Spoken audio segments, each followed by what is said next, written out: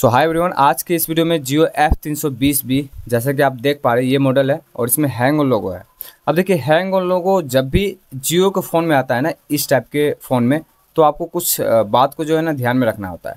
हमने इसका सबसे पहले क्या किया? हार्ड रिसेट किया, ठीक है? बैकग्राउंड नॉइज़ आ सकता है बिकॉज़ बारिश हो रही है और उसको स्किप करना। तो देखिए, पहला तो ये माइक से इशू आ सकता है या फिर सॉफ्टवेयर से, ठीक है? अगर सॉफ्टवेयर से इशू आता है तो आप एक बार हार्ड रिसेट करके देख सकते हो। लेकिन मैंने इसका हार्ड रिसेट किया बटन के थ्रू फिर भी ये जो है ना प्रॉब्लम सॉल्व नहीं हुआ है।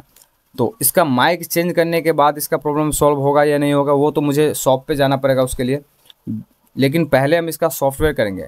बहुत सारे फ़ोन में जो है ना सॉफ्टवेयर से यह प्रॉब्लम फिक्स हो जाता है, ठीक है?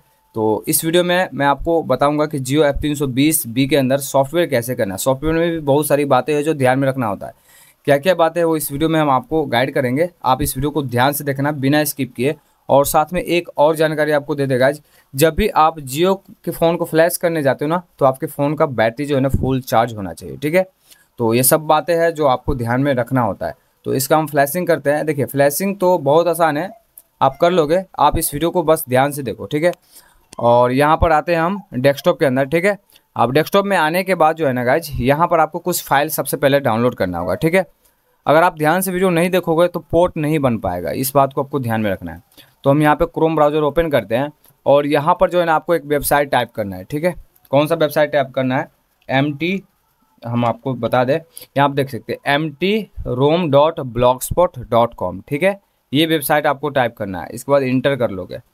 इंटर करने के बाद ये वेबसाइट जो है ना ओपन हो जाएगा, ठीक है? थोड़ा टाइम लेगा, ये ओपन हो जाएगा। अब ऐड वगैरह रहेगा तो थोड़ा परेशानी करेगा। तो कैसे करना है आपको, ये मैं गाइड करता हूँ। नीचे आओगे, ठीक है? नीचे आने के बाद, चलो, यहाँ पे हम इस ऐड को यहाँ से क्लोज कर देते हैं। और यहाँ पर जो है ना, आप सर्च पे टाइप करोगे, चलिए इसको कट कर देते हैं। यहाँ पर एफ़ आर पी ठीक है? एफ़ आर पी और इंटर कर दोगे। तो ये जो है ना, हमने टाइप किया, यहाँ पे आ गया ये वाला पोस्ट सबसे पहले ही ऊपर में, ठीक है? अब क्या करेंगे, इस ऐड को क्लोज करते हैं। इस वाले पे क्लिक करते हैं। ऐड आ गया, फिर से कट करते हैं, इस पर क्लिक करते हैं, ठीक है? अब इस पर क्लिक करने के बाद जो है ना, ये पोस्ट खुल के आ जाएगा आपको, ठीक है? और यहाँ से आपको कुछ फ़ाइल डाउनलोड करना है। कैसे करना है, वो बताता हूँ आपको। नीचे आना है, ठीक है? नीचे आने के बाद जो है ना, दोस्तों, आपको एक फ्लैश फ़ाइल इसका डाउनलोड करना है और दूसरा इसका क्यू फ्लैश टूल डाउनलोड करना है, ठीक है? और एक और एप्लीकेशन आपको नीड होगा, वो क्वालकम का यूएसबी ड्राइवर ठीक है? आप यहाँ पे आना डायरेक्ट टाइप करना Qualcomm USB driver latest version का जो होगा उसको डाउनलोड करके इंस्टॉल कर लेना, ठीक है? अभी भी आप देख सकते हो इसमें हैंग और लोगो है, यहाँ पे देख सकते हो। अब इसको हम साइड रखते हैं। अब ये सब चीज़ करने के बाद जो है ना, यहाँ से हम पहले फ्लैश फ़ाइल डाउनलोड करते हैं। कैसे करना है ये देखो, यहाँ पे क्लिक करोगे ऐड आ गया, चलो इसको हटाते हैं, यहाँ पे क्लिक करते हैं। क्लिक किए, यहाँ पर क्लिक करके आप इसको डाउनलोड कर लेना, ठीक है? बैक करते हैं अब। बैक करने के बाद थोड़ा, अब इसके बाद जो है ना क्यू फ्लैश टूल जो है ना, इस पर क्लिक करना, ठीक है? इस पर क्लिक करना, एक बार और क्लिक करते हैं और इसको कट कर देते हैं सबको ठीक है? और यहाँ से इसको डाउनलोड कर लेना, ठीक है? ये दोनों फ़ाइल आपको डाउनलोड होना चाहिए। दोनों फ़ाइल को डाउनलोड कर लोगे, ठीक है? डाउनलोड करने के बाद बेसिकली आपको दोनों फ़ाइल को एक्सट्रैक्ट करना होगा, ठीक है? एक्सट्रैक्ट कैसे करना है? एक्सट्रैक्ट करने के लिए आपके पास जो है ना विन आर एप्लीकेशन होना चाहिए। तो बेसिकली राइट क्लिक करोगे राइट क्लिक करने के बाद यहाँ पे विन में आओगे और यहाँ पे जो है ना एक्सट्रैक्ट को लाइफ पे क्लिक कर दोगे। तो दोनों फ़ाइल को आपको एक्सट्रैक्ट करना है। एक्सट्रैक्ट करने के बाद जो है ना आपको क्या करना है? चलिए हम इसको भी एक्सट्रैक्ट कर लेते हैं, ठीक है? यहाँ से। और एक्सट्रैक्ट करने के बाद देखिए, बहुत ज़रूरी है, यहाँ पे आपको ध्यान से सुनना है, कैसे क्या करना है स्ट्रेक करने के बाद। तो यहाँ पे देखिए, हमने इसको स्ट्रेक कर लिया। अब देखो क्या करना है। स्ट्रेक करिए, इसको पकड़ के हम लेके आते हैं डेस्कटॉप पे पहले, ठीक है? लेके आ गए। अब इसको ओपन कर लेंगे, ठीक है? ओपन करने के बाद यहाँ पर आएँगे, इसको क्लिक करेंगे और यहाँ पे कंट्रोल ए करके आप इस सबको सिलेक्ट कर लेना और कंट्रोल एक्स या फिर कंट्रोल सी कॉपी करो, कुछ भी करो, ठीक है? इसके बाद जो है ना, एक स्टेप बैक आ जाओगे, ठीक है? बैक आने के बाद यहाँ पर राइट क्लिक करके इसको पेस्ट कर देना। पेस्ट करने के बाद ये सबसे ऊपर वाला फ़ाइल जो दिख रहा है ना, आपको क्या करना है, इसको कर देना है डिलीट ठीक है? इस तरीके से। डिलीट कर दिया। अब डिलीट करने के बाद इसको क्या करना है, यहाँ से जो है ना कॉपी करना है, ठीक है? इस तरीके से इसको कॉपी करोगे। यहाँ से इसको हम कॉपी कर लेते हैं। कॉपी किए इस फ़ाइल को। और कॉपी करने के बाद क्या करना है, आपको इसको सी ड्राइव में जो है ना पेस्ट करना है, यहाँ पे। यहाँ पे। देखो, हमने यहाँ पे पहले से पेस्ट करके रखा हुआ है। यहाँ पर राइट क्लिक करना पेस्ट कर देना, ठीक है? अब इतना काम करने के बाद क्या करना है आपको? ये जो फ़ाइल डाउनलोड करके स्टेक किए हो क्यू फ्लैश टूल 9.1.7 वर्जन का, इसको ओपन कर लेना, ठीक है? ओपन करने के बाद जो है ना, इसको ओपन करना। और ओपन करने के बाद यहाँ पर टूल में आ जाना टूल सेक्शन में। और यहाँ पर जो है ना, देखो एप्लीकेशन लिखा है, इसके सामने जो है ना क्यू फ्लैश टूल जो है ना, इस पर क्लिक करना राइट क्लिक और रन एज एडमिनिस्ट्रेटर इस पर क्लिक करना और यस कर देना। ठीक है यस करोगे तो यहाँ पे ये वाला फ़ाइल जो है ना, इसका खुल जाएगा, ये एप्लीकेशन ठीक है?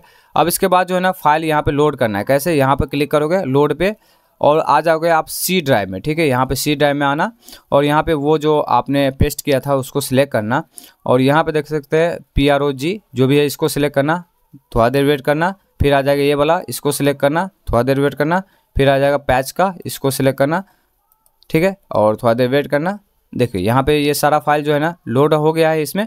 अब लोड होने के बाद यहाँ पे देखिए नो पोर्ट अवेलेबल बता रहा है ना? तो अभी मुझे इसको जो है ना कनेक्ट करना होगा पीसी से, ठीक है? तो देखिए, हम इसको कनेक्ट करते हैं। कैसे कनेक्ट होगा? तो इस बात को आपको ध्यान में रखना है कनेक्ट कैसे होगा, ठीक है ना? कनेक्ट करने के लिए जो है ना, यहाँ पर हम क्या करते हैं, पहले अपने सिस्टम में केबल का केबल को लगा लेते हैं डाटा केबल को, ठीक है? और डाटा केबल लगाने के बाद आपको क्या करना है? बैटरी को निकाल देना है यहाँ से, ठीक है? पहले स्विच ऑफ़ करना है। अब इसके बाद इस तरीके से बैटरी लगाना है और यहाँ पे स्टार बटन जो है ना, इसका स्टार बटन, ठीक है? ये वाला बटन है स्टार बटन, ये प्रेस करना है। प्रेस करके रखना है इसको, होल्ड रखना है, ठीक है? होल्ड करने के बाद यहाँ पर इसको यहाँ से इस तरीके से लगाना है। जैसे लगाओगे, यहाँ पे जो है ना, पोर्ट बन जाएगा। देखो, यहाँ पे पोर्ट बन गया, अब इसको छोड़ देते हैं। इसका पोर्ट जो है ना, बन गया है। ऊपर में देख सकते हो, क्वालकम का H S U S P Q D load है, ये कोड बन गया। अब यहाँ पे कोड बनने के बाद जो है ना दोस्तों, यहाँ पर डाउनलोड कंटेंट है ना, इस पर क्लिक कर दोगे आप, ठीक है? जब इस पर क्लिक करोगे ना तो ये फ़ाइल जो है ना, ऑटोमेटिक इस तरह चढ़ना शुरू हो जाएगा। अब इसमें कोई भी इरर आता है आपके साथ, कोई भी परेशानी क्रिएट होता है तो मुझे आप इंस्टाग्राम पे मैसेज करो, कमेंट सेक्शन में मैसेज करो, जो भी परेशानी क्रिएट होता है तो मैं उस पर आपको पर्सनली रिप्लाई दे करके बता दूँगा कि इस सेक्शन इस सेक्शन में आपको कैसे काम करना है, जो प्रॉब्लम आता है, उस प्रॉब्लम पे आपको क्या वर्क करना है, ठीक है? अगर आपका चार्जर पिन सही नहीं होगा, उसका जो भी लाइन है ना, वो सही नहीं हो, सही नहीं होगा ना तो यहाँ पे आपका पोर्ट नहीं बनेगा, ठीक है? पोर्ट बनने के लिए आपका जो है ना, चार्जर का पिन जो है ना, जैक वो सही तरीके से लगा होना चाहिए, ठीक है? और सभी पिन पे जो है ना, आपको रीडिंग आना चाहिए, जिसमें एक पिन फॉल्स होता है, बाद बाकी पहला ग्राउंड, दूसरा जो एक और होता है, जो भी लाइन होता है तो उसी हिसाब से सारा पिन पे मान आना चाहिए एक को छोड़ के, ठीक है? रीडिंग सब पे आना चाहिए। अगर सब पे आएगा तो प्रॉपर तरीके से अगर आपका जैक होगा ना तो वो यहाँ पे इसका क्वालकम का जो ड्राइवर है ना, वो ऑटोमेटिक यहाँ पे जो है ना पोर्ट बना लेगा, ठीक है? और यहाँ पे थोड़ा टाइम लेता है, हम वेट कर, अब दोस्तों देख सकते हैं, यहाँ पे फ़ोन ऑटोमेटिक ऑन हो गया। अब यहाँ पे देखिए फिनिश डाउनलोड लिखा हुआ है ना? तो फिनिश डाउनलोड जैसे यहाँ पे लिखा आ जाएगा ना तो आप इसको निकाल के हटा सकते हो, ठीक है? अब हमने इसको निकाल दिया है अब दोस्तों, इस पर क्या ध्यान देना है, इसको थोड़ा ध्यान से सुनो।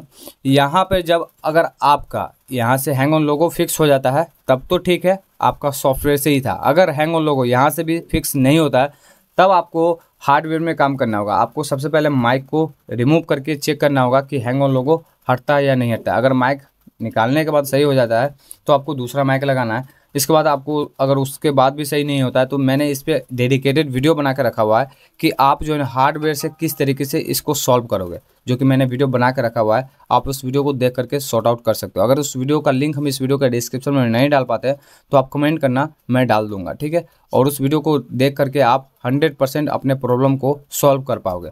तो बेसिकली इसमें जो है ना आई थिंक नहीं हो रहा है। हमने इसको एक बार फिर पहले भी फ्लैश किया था, नहीं हुआ था। तो इसमें जो है ना हार्डवेयर इशू है, इसको मुझे माइक से ही काम करना होगा। तो वीडियो कैसा लगा है लाइक करना, चैनल पहले बार सब्सक्राइब कर लेना। Thanks for watching guys bye and take care